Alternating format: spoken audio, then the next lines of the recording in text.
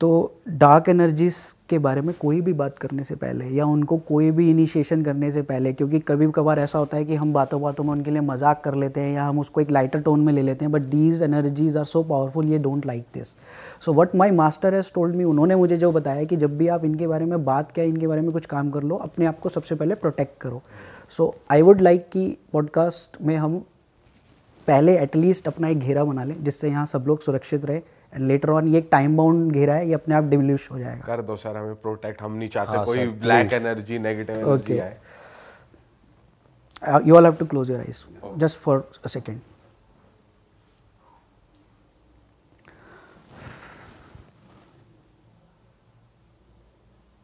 okay done ये एक time delusion घेरा है जिसमें हम सुरक्षित रहेंगे ये ऑटोमेटिक डिमिनिश हो जाएगा। बट तब तक जब तक हम बात करेंगे तब तक we are safe no issues तो दोस्तों, स्वागत है आपका एक मज़ेदार पॉडकास्ट में। जैसा कि आपने थोड़ा सा ग्लिम्स देखा, आज हम किस बारे में बात करने वाले हैं। आज हमारे साथ है डॉक्टर विशाल अरोड़ा जी, जो कि एक एस्ट्रोलॉजर हैं, वास्तु एक्सपर्ट हैं जेम स्टोन्स एक्सपर्ट हैं। इनके पास एक ऐसी विद्या है जिसके बारे में हम बात करेंगे, जिससे ये जेम स्टोन्स को एनर्जाइज कर सकते हैं। बट उससे पहले, दोस्तों, आपने हमारे ही पॉडकास्ट में बहुत बार ये बातें सुनी है कि ब्लैक मैजिक के दौरान नाइफ उड़ते हुए आ गया नाइफ प्रकट हो गया, कीले प्रकट हो गई। और ये कैसे होता है? आज उसका जवाब हमें सर से मिलेगा। साथ ही साथ आ, सर का थोड़ा बैकग्राउंड दिया जाए तो ये एक साइंटिस्ट हैं ये रिसर्चर हैं। इन्होंने रिसर्च करने के लिए अलग अलग कंट्रीज़ ट्रैवल करी है और उन कंट्रीज़ में इनके साथ ऐसे एक्सपीरियंस हुए जिसके बारे में ये खुद हमें बताएँगे। ब्लैक माम्बा टेक्निक ये वर्ड मैं आपको थोड़ा एक्साइट करने के लिए बोल रहा हूँ ताकि थोड़ी हाइप बन जाए कि आज क्या नया जानने को हमें मिलेगा। तो सर सबसे पहले तो वेलकम नमस्कार thank you thank you very much thank you very much आप लोगों का बहुत बहुत धन्यवाद आपने इनवाइट किया मुझे यहाँ। और सर आपका धन्यवाद आपने हमें प्रोटेक्ट कर लिया। आज तक हमने बहुत बातें करी है लेकिन कभी प्रोटेक्शन लेयर नहीं बनाई तो। नहीं प्रोटेक्शन बहुत ज़रूरी है क्योंकि मैंने जो देखा एक्सपीरियंस किया और किया मैं उस भयावह चीज़ों से जानता हूँ। तो वी शुड प्रोटेक्ट क्योंकि हम इन एनर्जीज़ को लाइटली बिल्कुल ना लें। They are they exist and for me being I am I am from not from a background कि भाई मैं एक चोगा पहन के बाबा हूँ। मैंने एक, मैं इंजीनियर हूँ, मैं एक डेटा साइंटिस्ट हूँ, मैंने मल्टीनेशनल कंपनीज़ में काम किया है। मैं I have lived in U S I have worked in U S U K multiple territories में काम किया है। सर तेरह चौदह साल मैंने बड़ी बड़ी कंपनियाँ डेल में मैं लास्ट था डेल कंप्यूटर्स में। तो I have seen world I have travelled I have interacted so many people और इतने लोगों के एक रिसर्च बेस्ड मेरा रहा है। मैंने हमेशा रिसर्च पे फोकस किया है कि कोई चीज़ अगर है तो वो लॉजिक क्यों है उसके पीछे कारण क्या है चाहे वो एस्ट्रोलॉजी की रेमेडी हो चाहे वो वास्तु की चीज़ हो चाहे वो डार्क एनर्जीज हो। डार्कर एनर्जीज में मैं पहले नहीं था। ये तो सर ये इंटरेस्ट आया कैसे? क्योंकि आप कह रहे हो डेल में थे आप आईटी फ़ील्ड में थे तो ये इंटरेस्ट कैसे आया? इंटरेस्ट एस्ट्रोलॉजी का तो ऐसे आया कि मैं बहुत परेशान था तो जगह जगह जाता था, लोग कुछ कुछ कुछ कुछ बोलते थे, कोई कुछ बोलता था, कोई कुछ जेम स्टोन ठुला देता, कोई कुछ पिला देता था। तो मैं पिस्ड ऑफ़ हो गया था। मैंने कहा, यार, ऐसी क्या रॉकेट साइंस है जो नहीं की जा सकती? जब इतनी बड़ी बड़ी किताबें पढ़ ली, इतना सब कुछ पढ़ लिया तो इसको भी पढ़ के देख लेते हैं। पढ़े इंटरेस्ट आया, लेकिन पहले एस्ट्रोलॉजी में बहुत रहा। एस्ट्रोलॉजी से स्टार्ट करी, बीच में टकराव हुआ डार्कर एनर्जी से तो उनके ऊपर फिर रिसर्च करना पड़ गया, इतने साल उस पर रिसर्च करी। फिर आज एक स्टेट पे आज मेरे को सत्रह साल का एक्सपीरियंस है। तो सत्रह साल में मैंने एस्ट्रोलॉजी वास्तु, मैंने सारी स्टडीज़ करी। सबसे पोटेंट एस्ट्रोलॉजी वास्तु और डार्क एनर्जीज़ को कैसे डील करना है या इनकी क्या क्या वेरियस फॉर्म्स हैं, उस पर मैंने देखा और अब मैं अपनी क्लाइंट्स की हेल्प कर रहा हूँ इन चीज़ों को इरेडिकेट करने में। क्योंकि डिस एक होती है आप अपनी विद्या को कंस्ट्रक्टिव वे में यूज़ करो, एक है उसी विद्या को डिस्ट्रक्टिव वे में भी यूज़ कर सकते हो। मेरा एम कंस्ट्रक्टिव वे में करने का है। लेकिन with a logic everything would be a logic without logic कुछ भी नहीं। सर तो आपके एक्सपीरियंस से ही स्टार्ट करते हैं। क्या ऐसा हुआ? कहाँ पर आप थे? जो आपका ऐसा टकराव हुआ नेगेटिव एनर्जी से ज़रा वो बताओ। ये बात है 2011 की। आई वॉज़ इन यू मैं अपनी कंपनी की प्रोजेक्ट से US गया हुआ था। लॉन्ग टर्म वजह लॉन्ग टर्म मेरा स्टे था। तो मैं उस समय मेरे को एस्ट्रोलॉजी में अभी तीन साल हुए थे मैं अपनी लर्निंग कर रहा था अपने गुरु के साथ और तब टोटली सिर्फ़ एस्ट्रोलॉजी ही कर रहा था अपना चार्ट चार्ट्स देखता था वो करता था मेरी काफ़ी रिसर्च कर रहा था उसके ऊपर। तो एक टीम गैदरिंग के दौरान हम हाइकिंग पे गए क्योंकि अमेरिकन को ना ये हाइकिंग ट्रेलिंग और इन सब का कैंपिंग करने का बहुत शौक है। जब भी छुट्टी होती है वो अपनी नाव लेते हैं, चलते हैं चल पड़ते हैं सुनसान जगहों पे। अब मेरे साथ मेरे दोस्त थे तो उन्होंने कहा कि तू भी चल हमारे साथ भाई फ्रेंड्स बनाए थे तो मैंने कहा, यार, मैं नहीं, मेरे को इंटरेस्ट नहीं है। अब इंडियंस को कहाँ हमें इंटरेस्ट होता? है हमें तो हैपनिंग जगह पे जाने का कौन जाके तंबू में जाके सोएगा? तो इंसिस्ट किया, मना नहीं कर सकते। सीनियर्स हैं, कुछ है तो चला गया मैं उनके साथ। तो जी, ले गए मुझे एक ऐसी सुनसान सी जगह पे। वहाँ पे नदी का किनारा, सुनसान जगह कैंप वैम्प लगाया, पहाड़ी इलाका था। ठंडा तो एरिया था, मैं ईस्टर्न कोस्ट में था यूएस की मेडिसन शिकागो के तरफ़। तो रात को कैंपिंग हो रही थी तो मेरे कुछ दोस्त ने कहा कि, चल यार, एक हाइकिंग करके आते हैं एक अच्छी सी। मैंने कहा, यार, रात हो रही है। कह रहा है what is the problem man I am with you हट्टा कट्टा था, मोटा था। Why are you afraid I have this gun also and all मैंने कहा, ठीक है लेट्स गो तो गया।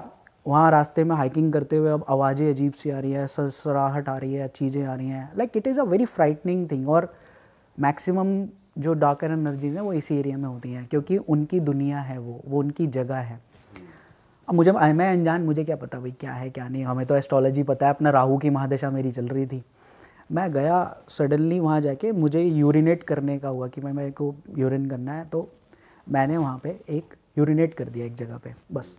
पेड़ वेड़ के नीचे या ऐसी पेड़ था आसपास और एक ऐसी जगह थी बस ऐसे नॉर्मली यूरिनेट कर दिया। चले जी आगे।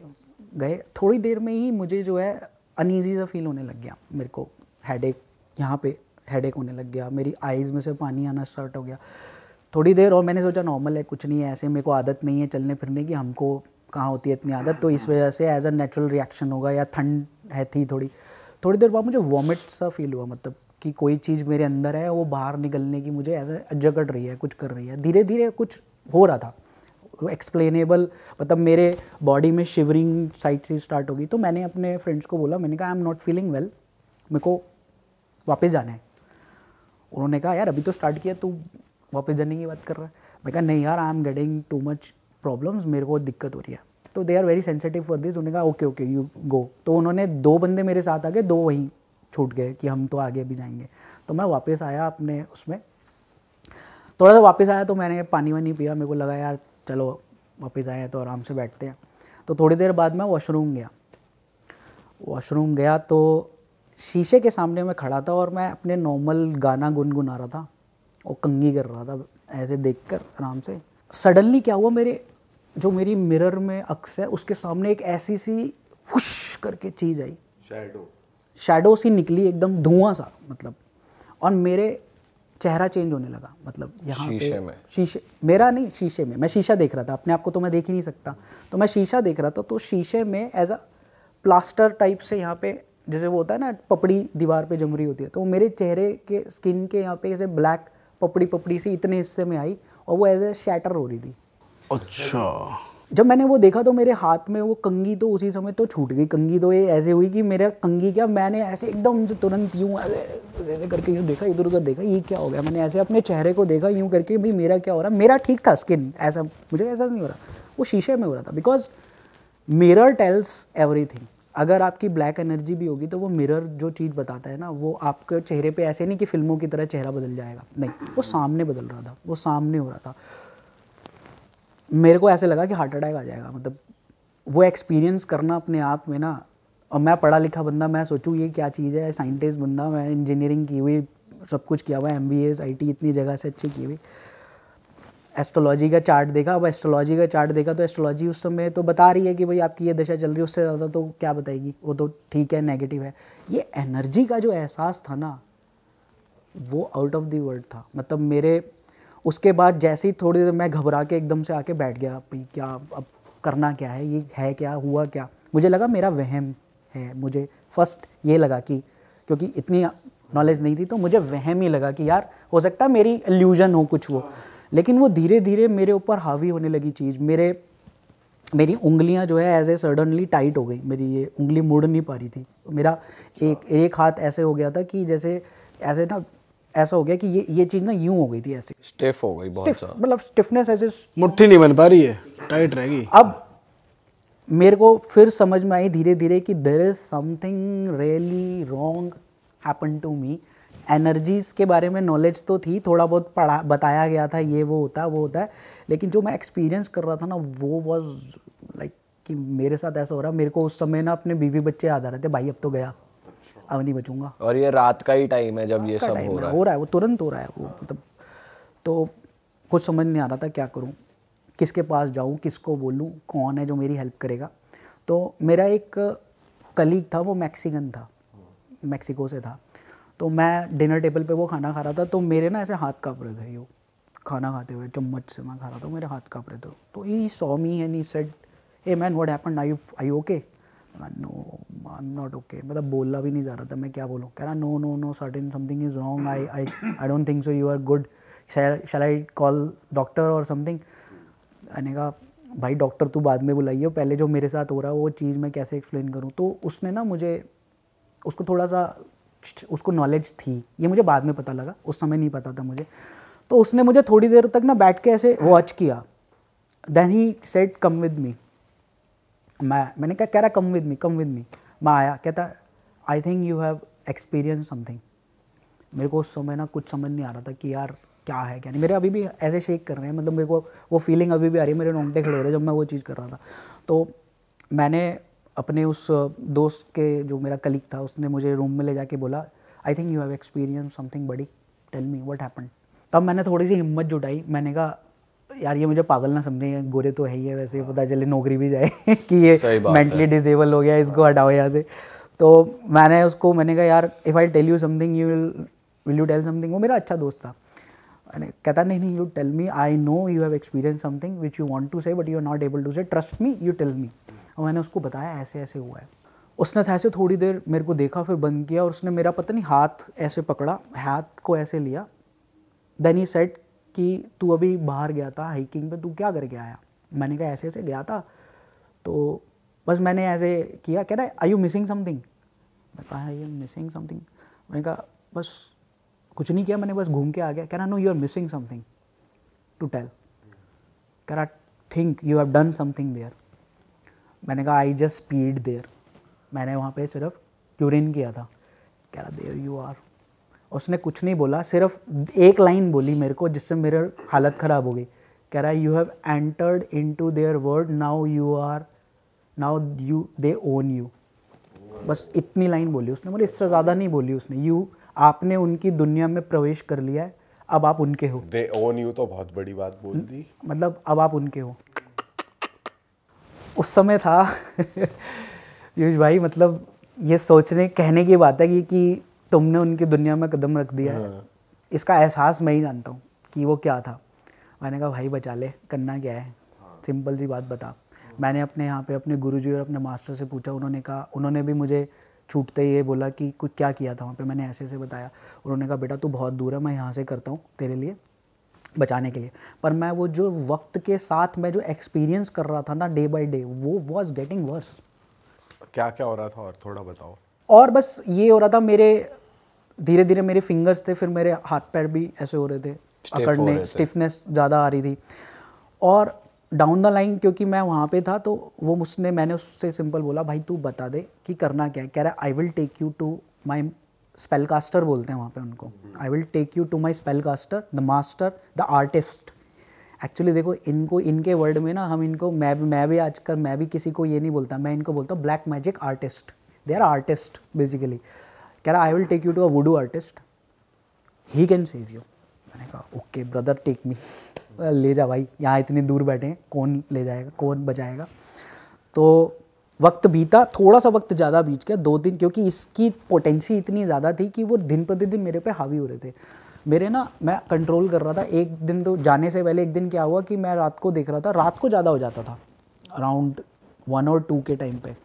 मेरी ये जो स्माइल है ना वो ऑटोमेटिक यूँ हो जाती थी। हम्म, ऐसे करके।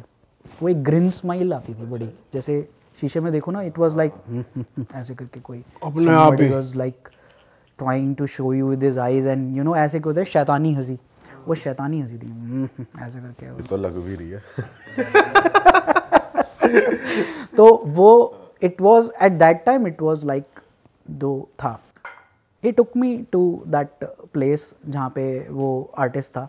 उसकी एक उजाड़ सा घर था उसका बहुत सिक्लूडेड से प्लेस में। उजाड़ घर ज़रूर था लेकिन उसके घर के बाहर मर्सिडीज़ और मज़राती वगैरह खड़ी हुई थी क्योंकि वहाँ पे अमीर अमीर लोग एक बच, एक लड़का एक बिजनेसमैन टॉप शूट अपनी बेटी को लेके आया हुआ था। उसकी बेटी दिखाने के लिए? पागलों की तरह चिल्ला रही थी अंदर बुरी हालत थी उसकी वो उसको लेके आया हुआ था। एग्जॉर्सिज्म हो रहा था लाइव हम्म, मतलब एग्जॉर्सिज्म से बचाने के लिए लाया हुआ था वो उसकी उसको पोजेस कर लिया था उसकी बेटी को। तो मैंने मैं ऐसे बाहर ही वेटिंग में बैठ गया तो मुझे बोला बैठो अभी अब आपकी बारी आएगी तो बात करते हैं। तो अंदर गया मेरे को बिठाया उसने तो उसने मुझे सीधा छूटते ही बोला ओके। सर उसकी शक्ल वकल नॉर्मल इंसान की तरह बिल्कुल नॉर्मल था कोई ऐसा कोई ऐसा अजीब सा अजीब सा लंबे बाल, लंबी दाढ़ी। जीन्स पहन के बैठा था। अच्छा jeans T shirt jeans T shirt में था वेरी नॉर्मल गए मुझे ऐसे लगा अरे कहाँ ही ले आया ये क्या कर लेगा? और कितनी उम्र होगी उसकी? बूढ़ा था। अच्छा बूढ़ा। बाल बड़े थे? बाल कॉम्ड था वेल कॉम्ड था मैं ये नहीं कहूँगा लेकिन थोड़ा सा वाइट कलर के बाल थे उसके और दाढ़ी थी और he was like normal jeans वगैरह में था बट उसने जैसे कुछ कुछ मालाएँ वगैरह पहनी हुई थी सॉर्ट ऑफ़ था। बट जैसे हमारे यहाँ पे एकदम से वो दिखाते हैं ना हाइब्ड की शक्ल ही मतलब बिल्कुल ही बंदा ही उस अटायर में बैठा होता है काले कपड़ों में ये वो वहाँ ऐसा कुछ नहीं था। और सर जो माहौल था उस रूम का वो मतलब बहुत ज़्यादा गॉडली था जैसे यहाँ पे मंदिर कह सकते हैं। उस उस प्लेस की एनर्जी को ना अपनी इंद्रियों से फेस कर सकते हो। देखो उस समय 2011 आज से कितने साल? 10 तेरह से साल 13 पुरानी साल, बात है। हाँ। तेरह साल पहले की बात मैं आपको बता रहा हूँ। तब मेरी और आज की और और तब की और में मेरा ज़मीन आसमान का फ़र्क है। तो तब मैंने वहाँ पे जो एनर्जी फील की ना इट वाज माइंड ब्लोइंग जो चीज़ मैं बाहर फेस कर रहा था ना वो अकड़न मेरी वहाँ बैठते ही खत्म हो गई थी। हाँ, मतलब पॉजिटिव वैसे वो प्लेस कैसी थी? डार्क थी या फिर लाइट था? मतलब डार्क डार्किश डार्क उसका एनवायरमेंट डार्क ही होता है। मतलब आपका ये जो है ना ब्लैक था पूरा। मतलब उसने पेंट भी ब्लैक करा रखा था। बट सर वो पॉजिटिव कहेंगे उसे या नेगेटिव स्पेस सर थी मैंने आपको क्या बोला कि ये आप पे डिपेंड करता है आप रंगों का भी कैसे इस्तेमाल करते हो? काला रंग खराब जैसे नहीं आपकी स्टिफनेस वहाँ पे चली गई तो मतलब आप अच्छा फील कर रहे थे हाँ मेरे को थोड़ा लाइटर फील हो रहा था। मतलब जो चीज़ मैं बहुत घबराया हुआ और परेशान था जो मेरे को बाहर फील हो रहा था वहाँ आके सडनली मेरी वो स्टॉप हो गई थी। मतलब उसने कुछ ऐसा कर रखा एनर्जी का लेवल वहाँ पे ऐसा बढ़ा रखा था कि वो it was there and it was convincing कि यहाँ मैं जैसे मैं यहाँ ऐसे बैठा हूँ ना तो मैं भी शांति से बैठा था तो उसने वो मैं आपको बता रहा हूँ वो क्या था तो वो वो जब आके मेरे पास ऐसे बैठा ना he just said I know why why you have come here मैंने कहा why I have come here कह रहा मैंने उससे पूछा कि क्यों आया हूँ मैं कौन हूँ? कह रहा मैं सब जानता हूँ तेरे बारे में। मैंने कहा कैसे जानता है? कह रहा this my genie is telling in my ears genie उसने वर्ड ये यूज़ किया my genie is telling in my ears that why you are here and why you have come कह रहा let me tell you about something about yourself मैं कहा what कह your name is this your father name is this he just died one year back your brother is this your sister is this your mother name is this and you are उसने मेरी दो चार चीज़ें ऐसी बोली। मैंने कहा यार कमाल है यार। सब सच सच बता दिया। क्या इसने सब कुछ कैसे बोल दिया? यहाँ हम चार्ट पढ़ पढ़ के लोगों की ये बातें बताते हैं ये बोल। मेरे को लगा कि उस समय रियलिटी बताऊँ तो मेरे को लगा कि यार ये फेक है ऐसा है वैसा है। मुझे हो सकता है मेरे फ्रेंड ने बताया हो। बट उसने फिर समथिंग ऐसी रिवील की जो मैंने कभी ज़िक्र ही नहीं किया था।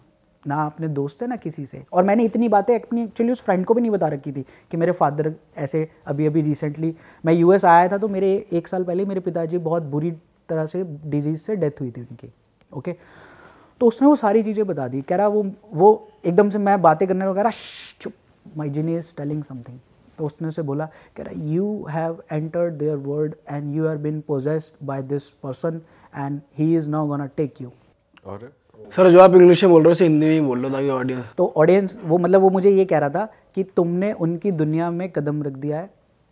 वो लोग अब तुमसे अट्रैक्ट होके उसमें एक बंदे ने तुम्हें एज ए पोजेस कर लिया है और वो अब तुम्हें ले जाना ले जाने तो उसने कुछ बताया जो एंटिटी जो आपके ऊपर आ गई थी वो कितनी पावरफुल है?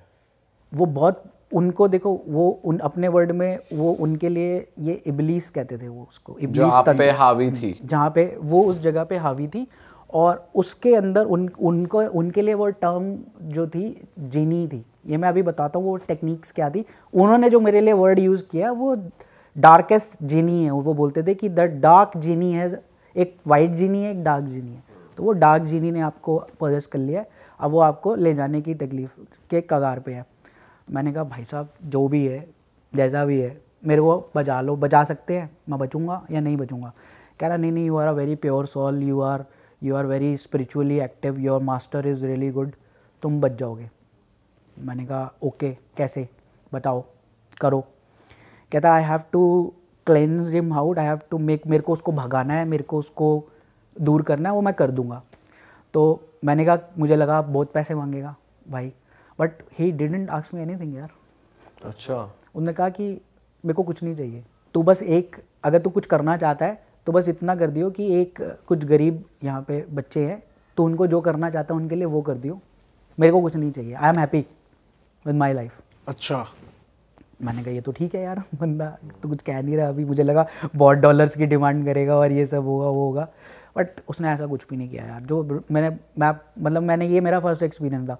उसके बाद उन्होंने मुझे उसने मुझे लिटाया। उसने मेरे सारे आगे अराउंड उसने मुझे वो डाल दी अम, जड़ी बूटियाँ टाइप्स थी उसके पास। वो जड़ी बूटियाँ डाल दी।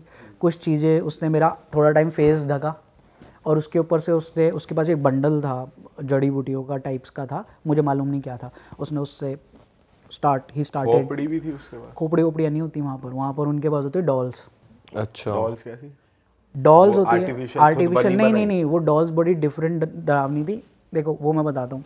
वो लोग जो है ना अपने गुरुओं की हड्डियाँ जो उनके मास्टर्स होते हैं ना, जैसे हम यहाँ पे मूर्तियाँ बनाते हैं, हम यहाँ पे देवी माँ की, काली की सिद्धियाँ करते हैं, मूर्ति बनाते हैं, वो लोग क्या करते हैं, वो हड्डी जो अपने गुरु या उनके मास्टर्स होती है ना, उनकी हड्डियों को ले लेते हैं और उनको ब्लैक कपड़े में, ब्लैक रिबन्स में बाँध के उसको एक बना के अपने गुरु को सदा वो अपने साथ रखता है और उससे काम लेते हैं वो। वो बहुत पावरफुल होते हैं उनके गुरु उस चीज़ में। उसने उस चीज़ से फिर बाद में उसने लाके वो एक क्रॉस मेरे ऊपर यहाँ पे रख दिया। मेरी छाती पे। और फिर उसने ये धीरे धीरे जब वो चीज़ें करने लगा ना मैं अभी आपको बता नहीं पा रहा हूँ जब वो ऐसे करता था ना तो ऐसे लगता था कोई चीज़ हटती है। मतलब जब वो ऐसे करता था तो मेरे को फील होता था कि कोई चीज़ मेरे को रिपेल होके निकल रही है। कुछ निकल रहा है ऐसे निकल रहा है निकल रहा है। सो झटका आ रहा झटका सा आ रहा मतलब ऐसा लगता था कि आपके यहाँ से कुछ सरक के निकल गया। झटका सा नहीं था बस सरक के निकल गया। क्लेंजिंग टाइप सा हो रहा था। वो हुआ सब कुछ निकल गया एंड देन जब उसने मुझे खड़ा किया ना तो मेरा थोड़ा सा सर घूम रहा था, चीज़ें हो रही थी, ऐसे मुझे थोड़ा सा धुंधला उंधला दिख रहा था बट उसने मुझे थोड़ी देर रिलैक्स किया, उसने मेरे ऊपर ऐसे कुछ पॉजिटिव चीज़ें डाली, उसका एनवायरनमेंट उसने फिर वो एक लेकर आया, ऐसे वो रिवॉल्व हो रहा था, उसने वो रिवॉल्व कर करके ऐसे करा। उससे मेरी कॉन्शियसनेस रिगेन हुई वापस से। थोड़ी देर बाद मुझे उसने बिठाया, कह रहा, यहीं बैठे रहो, थोड़ी देर एक्सपीरियंस करो इस चीज़ को, मैं बैठा रहा बैठा रहा। उसने मुझे पीने को भी दिया सर्टन थिंग कि आप इसको पियो, इससे आपको बहुत ज़्यादा रिलीफ मिलेगा क्या अच्छा था टेस्ट में? कैसा था? गरम? और क्या थी? ग्रीन टी टाइप थी? क्या थी? मतलब टेस्टलेस नहीं कहूँगा उसके अंदर एक टेस्ट था लेकिन एक अजीब सी उसके अंदर ना अरोमा था। हम्म, मतलब वो गंदा बदबूदार कोई चीज़ नहीं थी अरोमेटिक थी। वो ये कहता था कि आपके ऊपर ये जो जीनी है वो हट हट गया है लेकिन अब आपको इन अरोमास से ठीक किया जाएगा। वो अरोमा तो वो पिया उससे मेरी पीने के बाद मुझे ऐसा लगा कि यार शरीर में ना कुछ जान सी आ गई है थोड़ी देर बाद। फिर जब मेरे को उसने कहा कि now you are fine but you have to take certain things in mind non veg non veg मत खाना। कभी भी फॉर लाइफ नहीं नहीं उसने बोला जब तक मैं अभी खुद करूँगा तुम्हारे लिए यहाँ पे कुछ उसने मेरी फ़ोटोग्राफ जो है ले ली थी। तो फोटोग्राफ इज़ सर्टन थिंग्स ये सारी चीज़ें क्या है मैं आपको वो बताऊँगा कि ये एक्चुअली में कैसे तो जब मैंने रिसर्च की इस पर तो वहाँ से मैं रिलीव हुआ बेटर हुआ ठीक हुआ। उसके कुछ ही वो सारी चीज़ें हटी मैं बार बार जाके ना शीशा देखा करता था कि भाई चेक करना वेरीफाई अब चेहरे पे तरेड़ तो नहीं आ रही चेहरा हंस तो मैं वैसे ही हूँ मैं हंस तो रहा हूँ ठीक तो हंस रहा हूँ। सो इट वॉज़ फाइन यार I was fine I thank them a lot मैंने उसके लिए मतलब मेरी तरफ़ से उस समय यार कुछ इतनी सैलरी भी जो मिलती थी, क्या था? मैंने अपनी तरफ़ से उसके लिए जो करना चाहा, मैं मैं उसके लिए बहुत कुछ करना चाह रहा था, भाई, किसी ने बचाया अपने लिए बट उस बंदे ने मेरे से इतना कुछ भी नहीं लिया। उसने कहा देखो जो ठीक लगता है ना मेरे लिए तो वो कर दे, तू गरीबों को कर दे, यहाँ कुछ अनाथ से गरीब से बच्चे हैं जिनको खाने पीने को नहीं मिलता है तो उनके लिए कर दे। मेरे को भगवान, मेरे को मेरे गुरु ने बहुत कुछ दिया है, मेरे को पैसे वैसे की नोट नहीं है। वरना मैंने देखा यार बाहर मर्सिडीज वाले आ रहे हैं वो आ रहे हैं एक पोजेस्ड बंदी है वो कितना कुछ देने को तैयार है बीस दस बीस हज़ार डॉलर तो वो यूँ ही दे देंगे। उनसे भी कुछ नहीं ले रहे वो। ले इतना कुछ उसकी देखो जो अच्छे करने वाले हैं ना उनको इन सब चीज़ों से मोह नहीं होता। आप अघोरीज से मिलो they are just like without any उनको अगर अच्छे वाले हैं तो जिनको मटेरियलिस्टिक क्योंकि वो मोक्ष के लिए फाइट कर रहे हैं अपनी। तो ये मेरा एक्सपीरियंस था। जो मैंने लाइफ में खुद फेस किया, उसके बाद मुझे लगा क्योंकि मेरी रिसर्च चल रही थी तो मैंने सोचा कि जब ये मुझे हंट कर सकती है और हमारे यहाँ पे इस चीज़ों को फूहड़ माना जाता है या चीज़ें, अगर आप किसी से बात करो यंगस्टर से बात करिए तो अभी आप लोग बहुत अवेयरनेस सी टाइप सी फैला रहे हो। बट अभी भी कई लोग जो देखेंगे, जो बुद्धिजीवी जिन्हें हम कहते हैं they will comment like this कि, अरे, बेकार की बात है। क्या वो अंधेर गजनी मचा रखी है, लोगों से पैसा ठगने का बना रखा है? बट जो लोग इसको एक्सपीरियंस करते हैं ना the my clients who are experiencing they know और ये कोई ऐसे नहीं है। अब अर्बन एरियाज़ में ये बहुत ज़्यादा हो रहा है। पहले कम था। ये सीमित था आपके गाँव या इधर उधर इलाकों में या ऐसे कुछ एरियाज़ में। आप चले जाओ। लेकिन अब अर्बन एरियाज़ में जेलेसी आउट ऑफ़ जेलेसी ईर्षा कितनी ऐसी चीज़ें हैं जिसके चलते लोग करवा रहे हैं। और आप आप ऐसे ऐसे लोग अब आ गए हैं जो कि ये सब सीख सीख के आ रहे हैं। Do you know this thing इसको बोलते हैं वूडू। और वूडू का ये एक स्पेशल टेक्निक है जिसको बोलते हैं black mamba have you heard mamba सांप। कभी सुना है? नाइट जियो पे देखा है? ब्लैक माम ब्लैक माम्बा उसका मुँह काला होता है। उनके लिए रेफर करते थे ना कोबी ब्रायंट के लिए हाँ, वैसे एक प्लेयर थे उन्हें ब्लैक मतलब जो लेजेंड्स होते हैं ना उनको ऐसे बोलते हैं कि ये black mamba is the OG GOAT है ये। सर ब्लैक माम्बा सांप है। सांप का सांपों का वैसे बेसिकली सांप है वो सबसे खतरनाक ब्रीड है अफ्रीका की। जिसका मुँह काला होता है। अगर वो काट लेना बचा नहीं पाओगे। ठीक है? विद इन सेकेंड्स मौत दे देता है। जितनी देर में आप एंटी वेनम भी लगाने को अगर आप दूर हो एंटी वेनम नहीं मिला तो आप खत्म हो। बड़ा भी बहुत होता होगा वो। आप देखो ना नेट जियो पे जाके सर्च करो इतना बड़ा सांप है and he is so furious ये क्यों नाम क्यों दिया गया? क्योंकि this energy is furious this energy is so dangerous and powerful just like black mamba वो हिट करे और ख़त्म। ये लोग वहाँ पे जो इस टेक्निक को प्रैक्टिस करते हैं ये वहाँ पे सो हार्मफुल है। ये so dangerous form of black magic है जिसकी जो है अगर लोगों को इल्म नहीं होता तो they will you know sir थोड़ा और डिटेल में बताओ इस टेक्निक के बारे में आपने क्या रिसर्च करी? काले जादू के वर्ल्ड में या ब्लैक मैजिक के वर्ल्ड का कोई अंत नहीं है। आप रोज़ाना एक नई चीज़ देखोगे। यहाँ पे एक ऐसे ऐसे आर्टिस्ट बैठे हुए हैं जो इस चीज़ को करने में इतने माहिर हैं जो आपके सामने भी नहीं आएँगे पब्लिक के। एक होता है पब्लिकली आपको पास आके लोगों को अपनी शक्ति प्रदर्शन करना। लेकिन ऐसे लोग कभी पब्लिकली नहीं आते। और ऐसे ऐसे कलाकार हैं जो कि आप इस रूम में बैठे होंगे तो एक उड़ता हुआ चाकू आएगा और आपके लग सकता है हाँ सर ये कैसे हो सकता है? कैसे पॉसिबल कैसे पॉसिबल है? मैं आपको बताता हूँ इसका जवाब साइंस ने दे रखा है। In the form of equation Einstein की फ़ेमस इक्वेशन है E is equal to M C square this is the same technique ये चीज़ कोई नई डिवाइस नहीं हुई है सर ये साइंटिफिक चीज़ है। इसी के ऊपर हमारा न्यूक्लियर रिएक्टर्स भी चल रहे हैं। एक छोटे से यूरेनियम को आप एक शहर उड़ाने के लिए भी यूज़ कर सकते हो और उसी की एनर्जी से आप बड़े बड़े इलेक्ट्रिक स्टेशंस भी बना रहे हो। कैंसर की ट्रीटमेंट भी कर रहे हो रेडियो एक्टिव एनर्जी से। और उससे आप डिस्ट्रक्टिव एटम बॉम्ब भी बना सकते हो। तो इस साइंस का लॉजिक क्या कहता है ये वाला?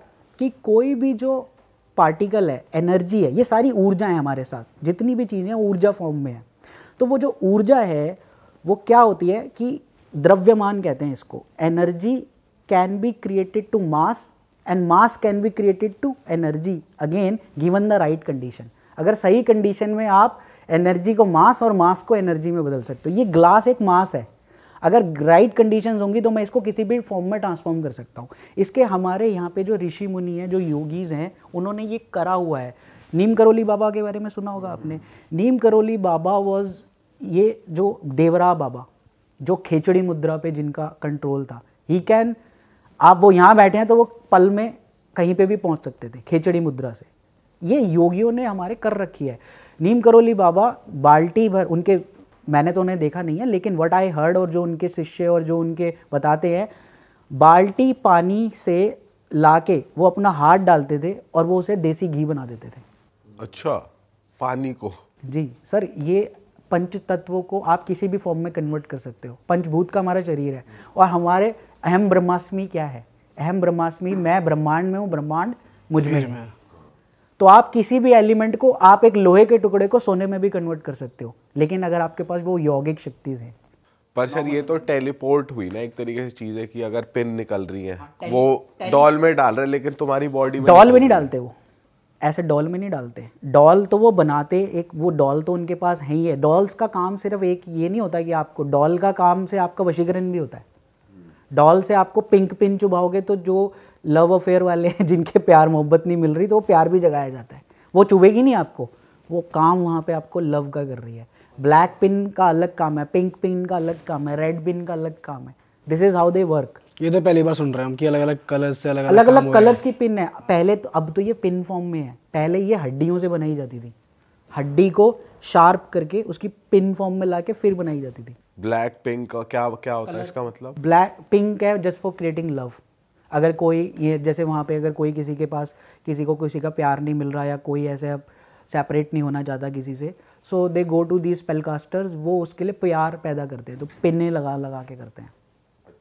Okay okay? लेकिन ब्लैक माम्बा इज़ वॉट आपके सुना होगा मैंने सुना यहाँ पे पेट में सांप आ गए। हाँ, हाँ लास्ट पॉडकास्ट में हमने पेट में सांप आ गए। ठीक है? अब ये सब हो गया। अब ये हमें सुनते हुए बहुत फैंटेसी लग रहा है कि यार चाकू निकल के आ रहे हैं, कीले आके लग रही हैं। तो ये कैसे क्रिएट करते हैं? ये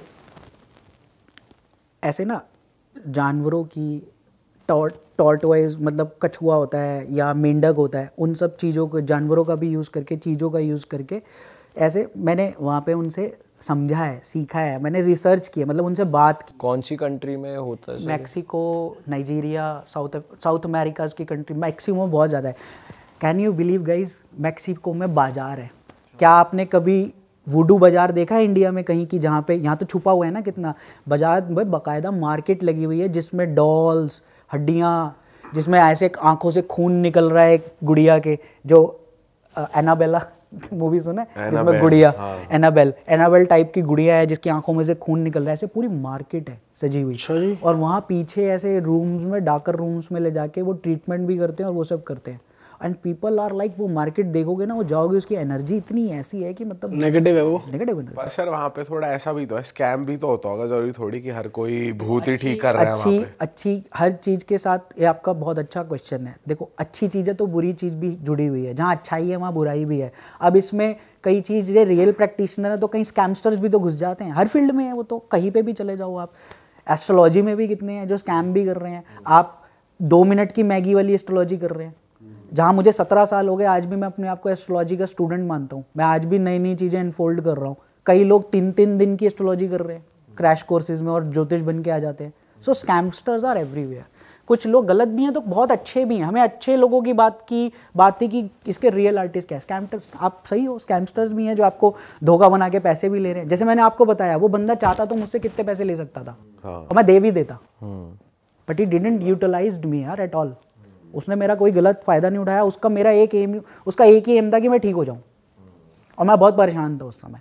And I really you know respect these guys जो हमारे यहाँ, हमारी सोसाइटी में भी हैं आजकल। मैं ऐसे बहुत सारे लोगों को जानता हूँ जो कर रहे हैं, जो सामने नहीं आना चाहते। They don't want to come in front of cameras और in front of people they are doing it and lot of people know that वो कर रहे हैं। तो इसमें क्या होता है? देखो, वो लोग कैसे करते हैं इसको? जो चाकू निकलता है, वो निकलता है। यहाँ पे लोग बड़े ना अचरज में आ जाते हैं, ये हो कैसे रहा है? ठीक है? हमें नहीं पता हो कैसे रहा है लेकिन हम इसे ठीक करने की कोशिश करते हैं। यही आपको आज तक पता है। ना हाउ दे डू इट वो उस चाकू को लेते हैं उसको इन्फानाइट लूप में डालते हैं। कैसे? इन्फानाइट लूप में उनकी एक विधि है तांत्रिक विधि है जिसको उसको वो एक वो एक मास है। आपको अभी नज़र आ रहा है लेकिन वो उसको उसमें कन्वर्ट कर देते हैं। मंत्रों से ही होता है एनर्जी के फॉर्म में होता है सब कुछ ठीक है? ये सब ऊर्जा है। वो ऊर्जा से उसको ऐसे कन्वर्ट करते हैं और वो एक इन्फानाइट लूप में वो चाकू गायब हो जाता है, वो द्रव्य फॉर्म में आ जाता है ओके अब वो उसको पैकेज करते हैं, उसके बाद उसके अंदर एनर्जी डालते हैं। E is equal to M C square में ना ई e एनर्जी है एम मास है तो आपकी क्या हो गई? मास आ गया। अब उसके अंदर वो सी स्क्वायर जो है वो कोहरेंट फैक्टर है, जिसे कहते हैं स्पीड ऑफ़ लाइट ओके उस लाइट की ताकत के साथ जब उसे बूम करते हैं तो वो आप कहीं भी बैठे हो, वो गाइडेड मिसाइल है इज़ अ लेज़र मिसाइल जैसे अभी फाइटर मूवी में होता है ना लॉक कर दिया। टारगेट को लॉक करते हैं मिसाइल छोड़ते हैं। आप कहीं भी घूमते रहो ऐसे वो मिसाइल आपको हिट करेगी। करके मारेगी वो लेजर गाइडेड मिसाइल होती है ना वो आपको लॉक एक बार लॉक करना है। वो लॉक किया मिसाइल छोड़ी आप चाहे इधर जाओ इधर जाओ उधर जाओ कहीं भी जाओ वो आपको लॉक कर लिया बस उसने। Laser guided missile so these are laser guided things जो आती हैं। फिर उसके बाद आप इस रूम में बैठे होगे ना सडनली आप कहोगे ऊ टक आके। वो आपको नज़र नहीं आ रही है वो यहाँ आते आते जब वो यहाँ आएगी ना, वो वापस से किसमें कन्वर्ट हो जाएगी? मैंने आपको बताया था मास में इनविजिबल फॉर्म में। तो वो आके आपको, और कुछ लोग धोखा भी दे रहे हैं। जैसे कई लोग होते हैं जो आपको दिखाते हैं तो कई लोग अपने हाथ की सफ़ाई भी दिखाते हैं इसमें। हाथ की सफ़ाई ऐसा कुछ होगा नहीं, प्रकट कर लेंगे, वो हाथ की सफ़ाई भी दिखा रहे हैं। इसमें कुछ लोग धोखेबाज भी हैं तो कुछ लोग जो रियल प्रैक्टिशनर है, वो इसको मास को कन्वर्ट करते हैं। ई इज़ इक्वल टू हमारा जितनी भी चीज़ें हैं ना एनर्जी फॉर्म है। ये सब चीज़ ऊर्जा है। ऊर्जा को आप किसी भी शेप में ला सकते हो। भगवान ने क्या कहा है? ईश्वर ने श्री कृष्ण ने कहा है गीता में, मैं निर्गुण हूँ। मेरा कोई आकार नहीं है, मेरा कोई स्वरूप नहीं है। आप मुझे कैसे भी कर सकते हो। तो आप मुझे साकार रूप भी दे सकते हो। कंस्ट्रक्टिव वे में आप मुझे डिस्ट्रक्टिव रूप में भी यूज़ कर सकते हो। और जो डिस्ट्रक्टिव वे में यूज़ कर रहे हैं, उनका अंत बहुत बुरा होगा। दैट्स फॉर श्योर और जो इसे कंस्ट्रक्टिव वे में यूज़ कर रहे हैं एनर्जी को लोगों की हीलिंग करने में लोगों को फंस गए हैं तो बचाने में they are the man they are the people तो सर जो ये प्रैक्टिशनर्स हैं जो जैसे आपने बोला कि वो इन्फानाइट लूप में उसको डालते हैं फिर वो आके लगता है वो मास में क्रिएट हो जाता है तो ये जो प्रैक्टिशनर्स है वो कर रहे हैं ये? ये प्रैक्टिशनर ही है आर्टिस्ट है आर्टिस्ट हैं जो कर रहे हैं आर्टिस्ट है। तो उससे उनका जो ब्लैक मैजिक उनमें हो रखा होता है तो वो हट जाता है मतलब वो कैसे वो ट्रीट कैसे हो रहा है उससे? ट्रीट नहीं हो रहा। मैंने आपको तो बताया ये करने का किसी पे करने का- करने के लिए। आपको किसी को हार्म पहुंचाना है ना। This is the harmful way अब इसकी काट जो होती है इसकी काट इसी से होती है। ब्लैक माम्बा का काट भी उसी में ही है। अगर एक सांप का जो काटे का इलाज कहाँ है? सांप के जहर में ही है सर। एंटीवेनम सांप से ही बनता है। अगर सांप ने काटा है तो उसी के सांप के जहर से ही एंटी वेनम बना के आपके अंदर इंजेक्ट किया जाता है। पर इस केस में आप पेट में आपको सांप मिलते हैं ब्लैक मामा वाले केस में। ऐसा होता है? वो वो पॉसिबल है। मैंने कहा पॉसिबल है। वो चीज़ मैंने सुनी है आप लोगों के इससे बट मैंने वो चीज़ जो मैंने कहा चाकू लगना कीले लगना शरीर पे कट लग जाना चाकू के मतलब ऐसे कट लग जाना और चीज़ें आके लगना। अगर आपके पेट में सांप भी है निकल भी रहा है कैन बी पॉसिबल क्योंकि वो एनर्जी को यहाँ पे आके अगर और हाँ सांप से मुझे याद आया वुडू प्रैक्टिशनर्स के पास जाओ ना सांप मस्ट है सबके पास सांप होता है।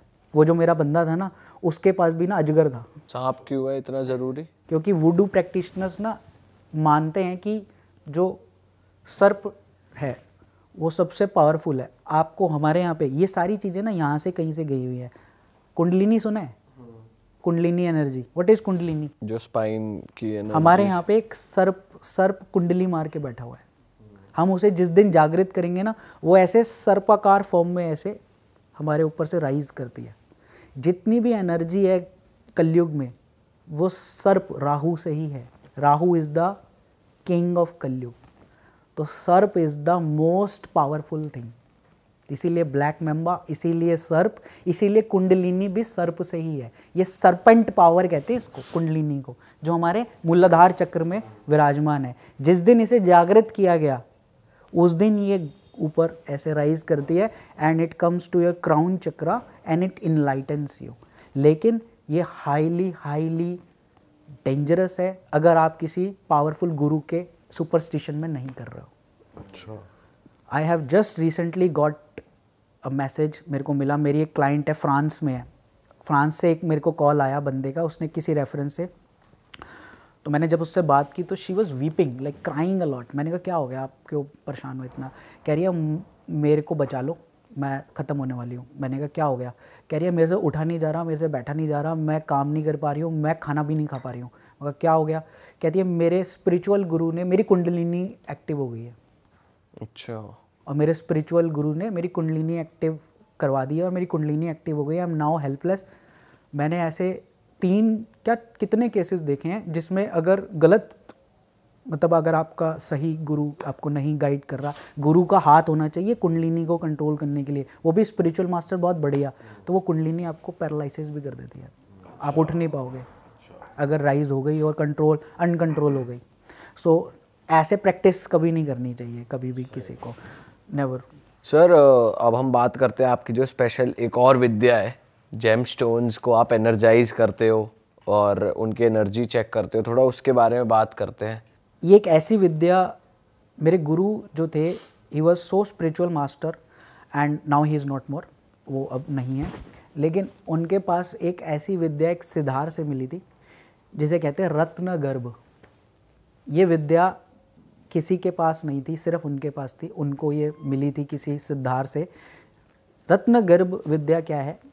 कि जो ये हमारे जेमस्टोन्स है ना, रत्ना है, इसमें जैसे एक फीमेल की कंसीविंग पावर होती है, उसकी जो है अंदर एक गर्भ धारण की क्षमता होती है, उसी तरह से इन जेमस्टोन्स के अंदर एक गर्भ को धारण करते हैं। इसके अंदर एक गर्भ होता है, जो कि एक वोटेक्स फॉर्म में ऐसे एनर्जी निकलती है ओके तो चाहे वो कोई भी जेमस्टोन हो, लेकिन इसमें एक कलाकारी ये है कि इस विद्या के द्वारा आप किसी भी जेमस्टोन को पॉजिटिव वे में एनर्जाइज करके अगर हम अपने क्लाइंट को पहनाएँ तो उसको एक माइंड ब्लोइंग रिज़ल्ट मिलता है।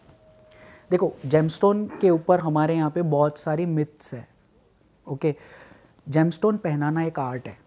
हर कोई इसको नहीं पहना सकता। अगर आप ज्योतिष की किताबें देखें तो एक, पाँच और नौ मतलब पहला घर, पाँचवा घर, नौवा घर की सॉफ्टवेयर से लेकर किताबें कहते हैं पहना दो। भाग्यस्थान का पहना दो पंचम भाव का पहना दो लग्नेश का पहना दो।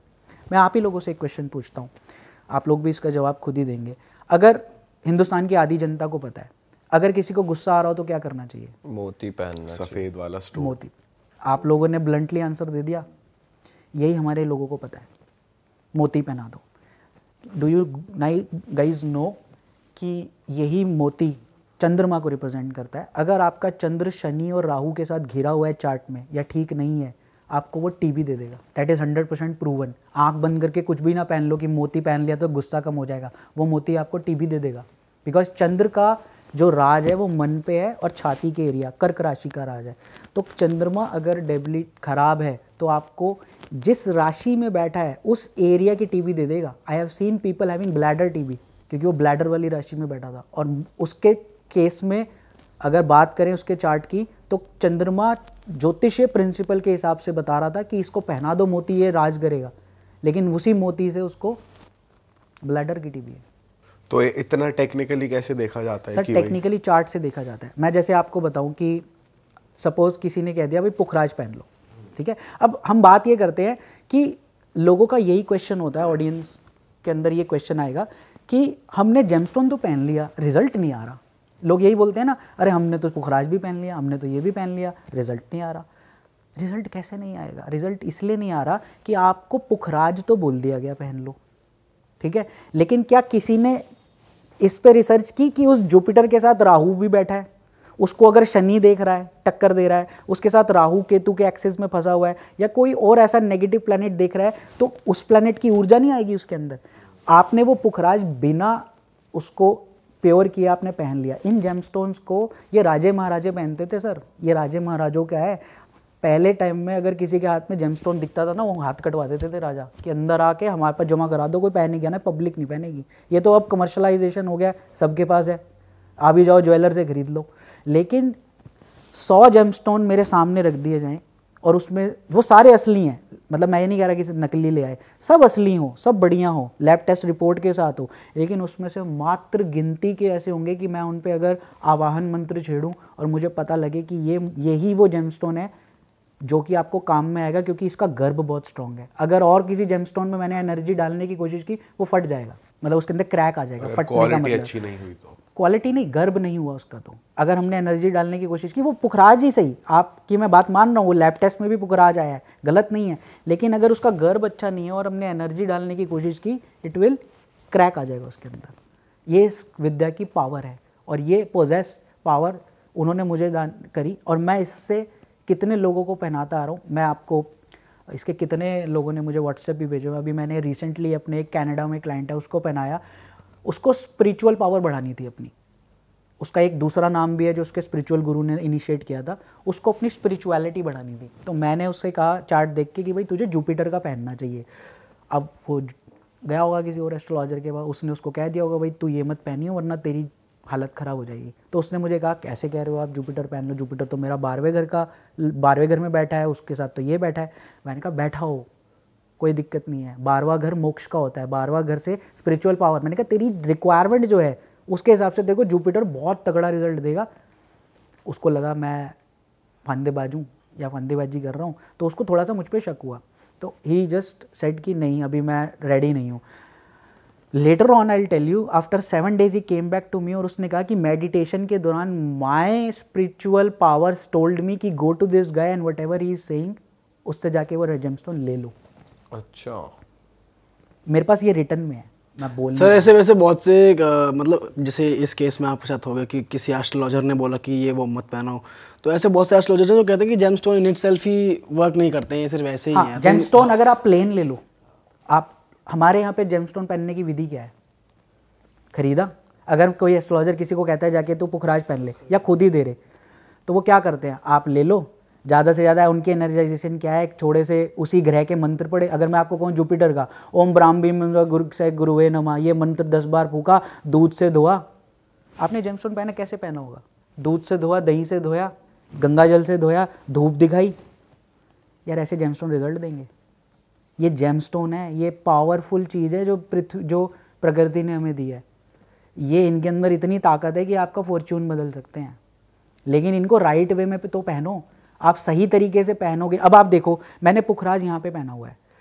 ऑल ओवर वर्ल्ड में ऑल ओवर दुनिया में पुखराज यहाँ पहनाया जाता है, इस फिंगर में। लेकिन इस फिंगर में मैं कभी भी नहीं पहनाता। ये फिंगर क्या पूजा में ली जाती है?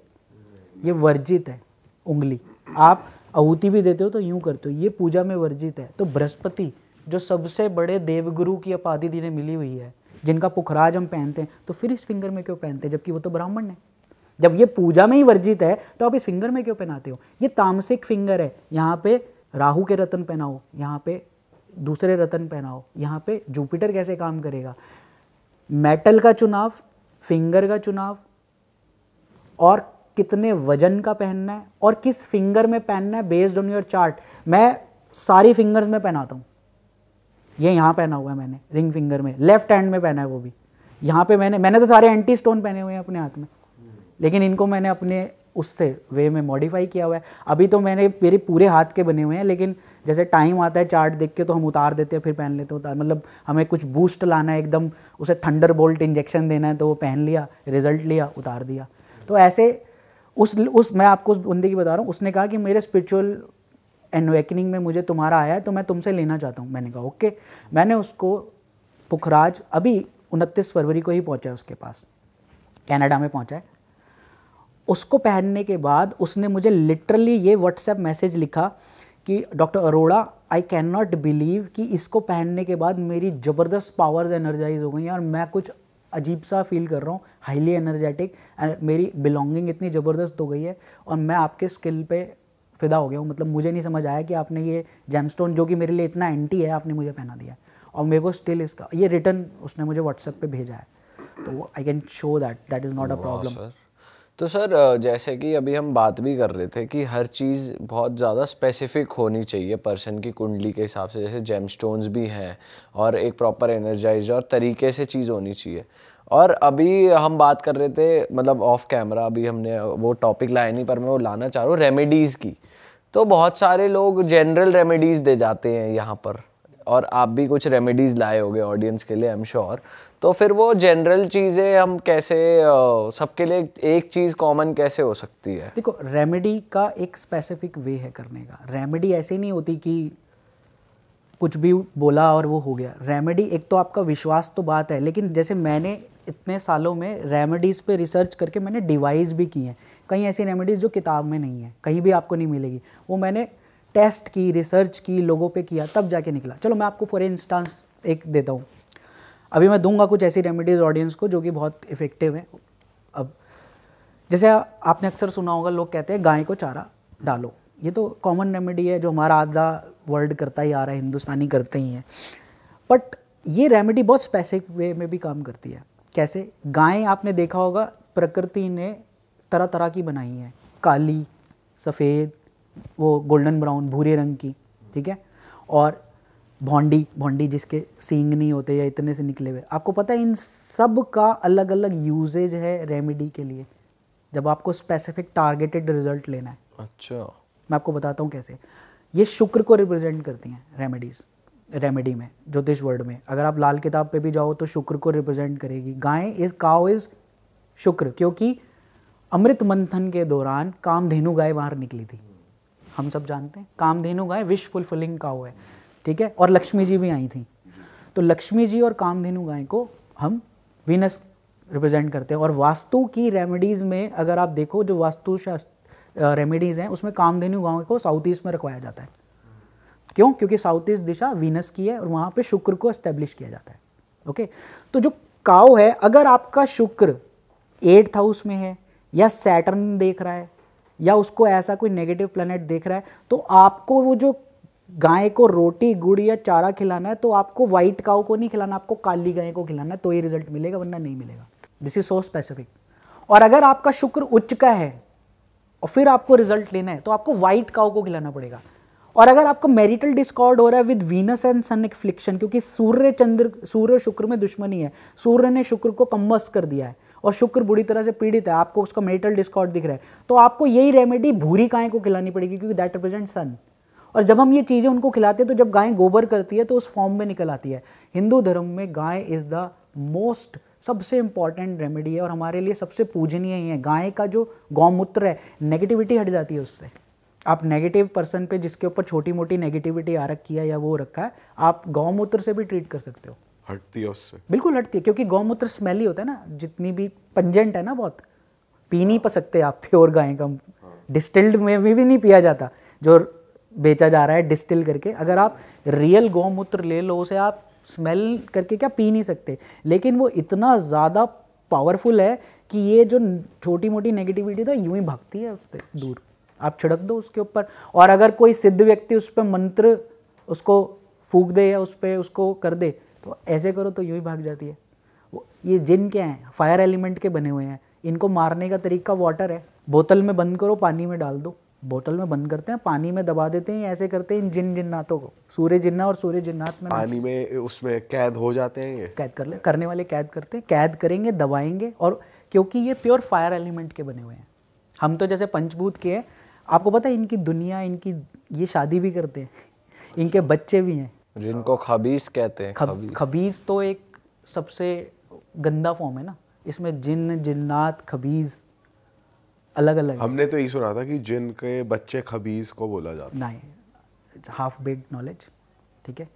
हाफ़ बेग नॉलेज हमेशा वो होती है। देखो आप आप टेक्स्ट पे जाओ आप किस लिए आप जो मुस्लिम्स हैं ये उनका है बेसिकली तो अगर आप उनके सूर्य जिन्ना सूर्य जिन्नात पढ़ो उसमें लिखा हुआ है कई जिन्नों को पूजा भी जाता है। दे हेल्प यू ऑल्सो ठीक है? बट येस उन वो नेगेटिव वे में भी यूज़ होते हैं सब कुछ होता है। तो रेमेडीज़ को करने का एक बहुत स्पेसिफिक वे है। मैं आपको एक रेमेडी बताता हूँ, जिसको भी बुखार बहुत ज़्यादा होता है या ज्वर उतर नहीं रहा होता है तो इनको इन्फेक्शन हो गया है। तो उनके लिए एक रेमेडी बताई गई है कि आप गाय को गुड़ खिलाइए और गुड़ खिला के आ जाइए। आपका रेमेडी ये बोल देते हैं कई लोग। लेकिन इसको अगर मैंने डिटेलिंग में जाओ इसकी तो इसको रेमेडी को करने का तरीका पता है क्या है? जस्ट राइट साइंटिफिक वे जब ये बताया गया हमारे बुज़ुर्गों ने या वे में तो मैंने इस पर रिसर्च किया तो पाया जो इसमें आपको ना देसी गायें चाहिए जिसका हम्प निकला हुआ है। नॉर्मल गाय नहीं देसी गाय। वो हम्प में एक चीज़ है जो अट्रैक्ट करती है। वो हम्प उसका वायरस खींचता है क्योंकि गाय गुड़ को खाने में और एसिमुलेट करने में टाइम लगाती है। आपको पाँच से दस मिनट वहाँ पे खड़ा होना पड़ेगा गाय के पास। तो गाय का जो हम्प है ना जिसके अंदर देवी देवता भी विराजते हैं वो वहाँ से आपका वायरस वायरस अट्रैक्ट करती है। वो वायरस खींचेंगे और जब आप पाँच दिन रोज़ाना जाके पंद्रह मिनट उस गाय के पास खड़े होगे और गुड़ खिलाओगे और उतनी देर वेट करोगे तो वो आपका क्या कर रही है? तो पाँच दिन बाद तो एंटीबायोटिक भी खा रहे हो तो फिर वो धीरे धीरे ज्वर उतरने लग जाता है। This is how the remedy works लेकिन हमें हमारे लोगों ने इसको क्या बना रखा है? अरे यार मेरा मन नहीं कर रहा। मम्मी एक काम करो आप चले जाओ गुड़ खिलाए हो जाके मेरी जगह पे। और मम्मी को बुखार है नहीं। मम्मी को बुखार है नहीं जिसे भूख लगी है भाई उसे करना चाहिए। तो रेमेडी को राइट वे में करने का तरीका है। सही बात ये रिसर्च बेस्ड एस्ट्रोलॉजी होनी चाहिए। कुछ भी नहीं आके कुछ भी रेमेडी करा दी कुछ भी सर और कोई क्विक रेमेडीज आप बताओ हमारी ऑडियंस को।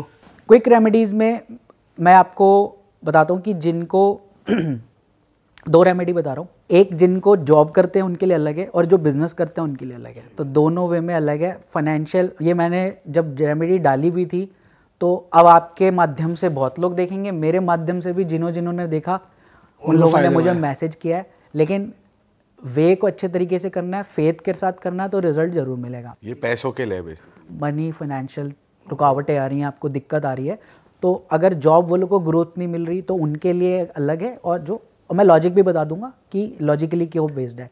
देखो आपको करना क्या है कि ये रेमेडी छः शनिवार करनी है ठीक है? आपको लेना है छः रसगुल्ले स्पंच वाले जिसमें चाशनी होती है जिसमें वाइट वाले जो बंगाली रसगुल्ले होते हैं वो लेने हैं। और उसको ब्राउन कलर के खाकी कागज़ में रैप कर देना है ओके और छः शनिवार ये रेमेडी होगी। रोज इसका है कि आपको शाम के समय करना है ओके इवनिंग में छः साढ़े छः के बाद ये रेमेडी कीजिए। मंदिर में जाइए, किसी भी मंदिर में। बाहर कोई भी स्त्री ओनली फीमेल चाहे वो सुहागन हो, विधवा हो, कोई भी हो, स्त्री को ही देना है तो आपको ये डोनेशन उसको देना और साथ में कुछ पैसे दे देने ओके ये रेमेडी शनिवार को करेंगे जो जॉब वाले हैं। अगर जो जॉब में ग्रोथ चाहते हैं वो ये रेमेडी शनिवार के दिन करें। और ये रेमेडी शुक्रवार को वो करें जिनको बिज़नेस बिज़नेस के लिए करना है। दोनों में फ़र्क क्या है? मैंने करा क्या इस रेमेडी में? इस रेमेडी का जो मेन चीज़ है वो है प्लानिटरी कॉम्बिनेशन को अलाइन करना। ज्योतिष में दो छः दस और ग्यारह ये कॉम्बिनेशन होता है अर्था त्रिकोण का। अर्थ पैसा जिसको बोलते हैं अर्था त्रिकोण। ठीक है? तो अर्थ त्रिकोण जब हम मिला देते हैं तो रिज़ल्ट हमारा मैनिफेस्ट हो जाता है।